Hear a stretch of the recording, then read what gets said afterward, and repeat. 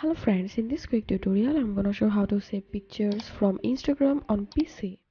So as you can see here, so I opened a picture on my Instagram and right now I want to download this photo but as you can see here's no option to download this photo from Instagram and if I right click above the photo also here we can't find any option to download photos from Instagram on PC so if I want to download this photo on my computer so all you have to need you have to click on three dot icon here. And now click on copy link.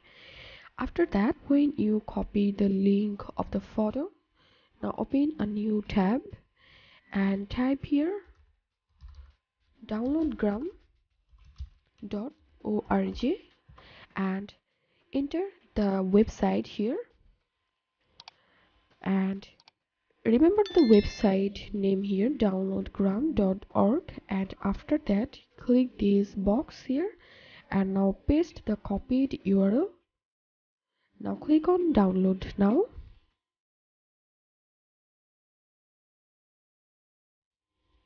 And after that here we can see the photo is visible now in this website.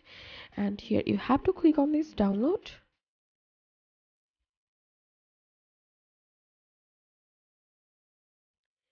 and here we can see the photo is downloaded. Now if I go to my file manager here we can see the photo is downloaded from my Instagram to PC save photos from Instagram on PC if you find this video helpful make sure to subscribe. How To 1 Minute thanks for watching this video